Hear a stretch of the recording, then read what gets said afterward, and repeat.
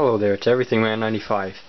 Uh, today I'm going to be making some electric wood art using high voltage.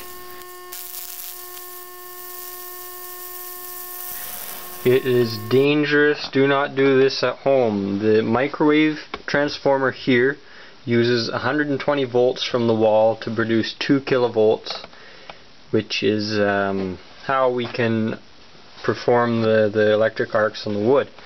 So all that we need is transformer, wood, whatever type you prefer, um, a hammer, pliers, those are both preferable, it depends on uh, the method that you want to use. I prefer to use alligator clips with little nail pins, baking soda, and water. This is just normal drinking water. All that I'm going to do is open the baking soda, and again you can experiment with this yourself I'm going to use roughly a tablespoon put it in there and stir it around let it uh, dissolve as much as it can stir it and then as well I have paper towels here to rub it on the wood and to rub off the excess you can also use a paintbrush so I'll go out and I'll cut some different pieces of wood and give you some different examples. So I'm out with the saw and cut three different types of wood. I'm going to start with this. It's some sort of very thin uh, three ply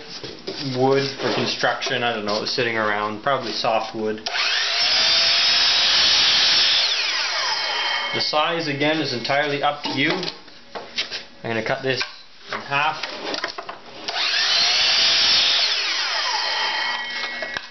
Uh, so this is the plywood. You can try it large, small. You can try to put your points diagonally across, straight across, try to mess with the grain. I have never tried plywood before, so we'll see what happens.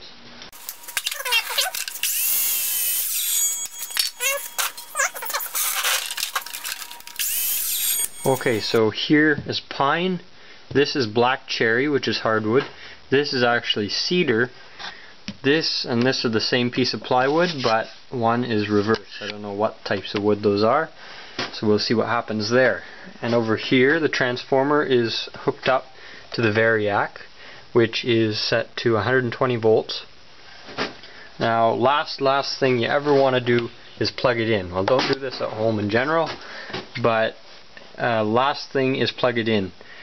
Um, next step place the nails with the alligator clips into whatever desired position on the wood you want I'm going to do mine on the corners, see how it goes, and flip it over to the other corners.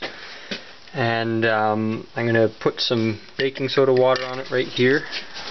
And the only reason for the baking soda water is to provide better conductivity in the wood.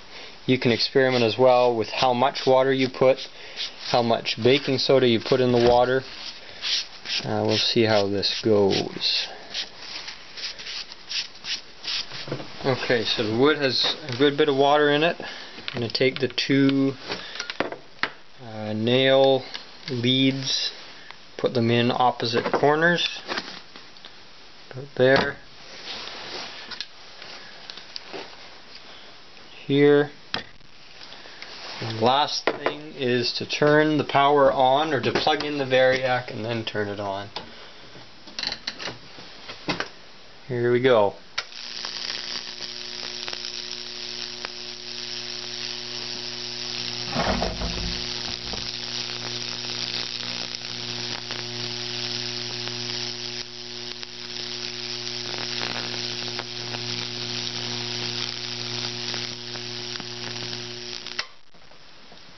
There, so that's quite nice.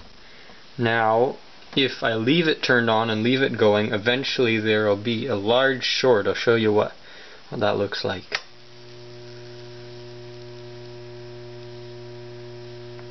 Well, maybe not. See, when it's wet and you let it keep going, eventually the carbon will end up touching each other and you'll end up with large electric arcs. Here we are with the other upside down piece of plywood.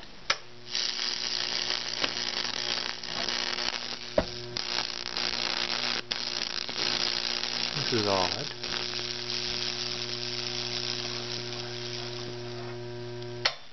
Hmm.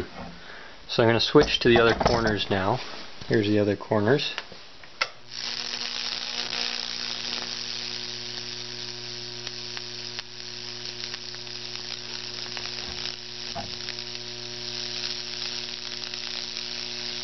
It was very slow compared to the other one. I'm not sure why. I'll show you what happens when you get a complete arc here.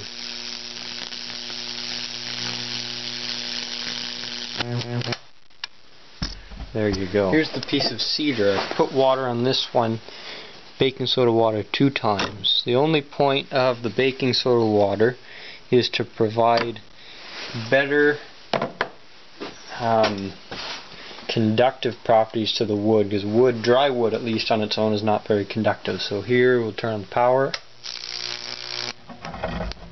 Ooh. Switch corners again. Hmm. Cedar is not working very well. I'm going to put on one more coat of water.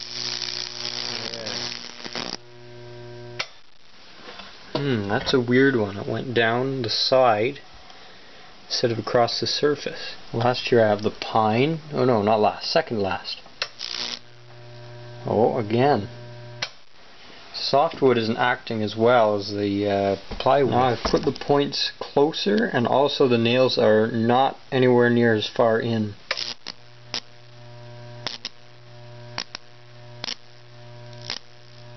That's really weird. Last year I have some black cherry.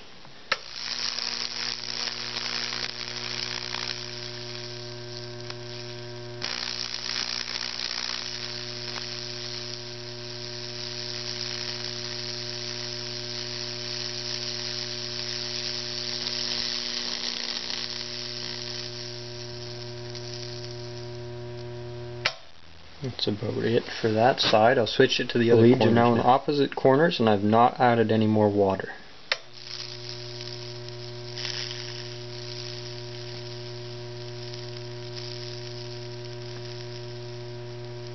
Extremely slow. Try again with a bit more water.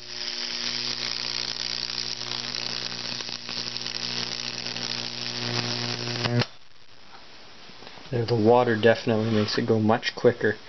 If you look closely, you can actually see the depth that the that the electricity actually made the carbon go.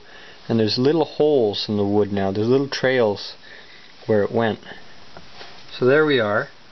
You can see how well the uh, plywood worked and the black cherry, but not so much the pine and the cedar. Now if you know why, please let me know in the comments uh, that the softwood does that compared to the others and um, don't play with electricity. Always be very careful around it.